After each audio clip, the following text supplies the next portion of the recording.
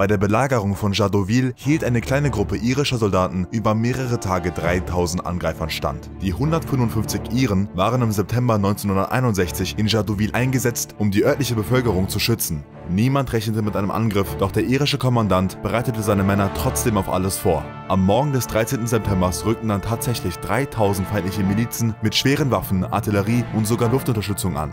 Die unterlegenen Iren hatten eine viel leichtere Bewaffnung und nur begrenzte Munition und Verpflegung. Aufgrund der herausragenden Führung und guten Vorbereitung konnten sie den Feind trotzdem immer wieder zurückschlagen. Nach ein paar Tagen funken sie an das Hauptquartier, wir halten bis zur letzten Patrone stand, könnten etwas Whisky gebrauchen. Da jedoch keine Unterstützungstruppen bis zu den Iren vordringen konnten, mussten sie am vierten Tag kapitulieren. Die feindlichen Verluste betrugen 300 Gefallene und 1000 Verwundete. Die Iren hatten lediglich 5 Verwundete. In Irland wurde der Vorfall unter den Tisch gekehrt und die Soldaten für ihre Kapitulation verspottet. Erst 40 Jahre später erhielten sie die verdiente Anerkennung.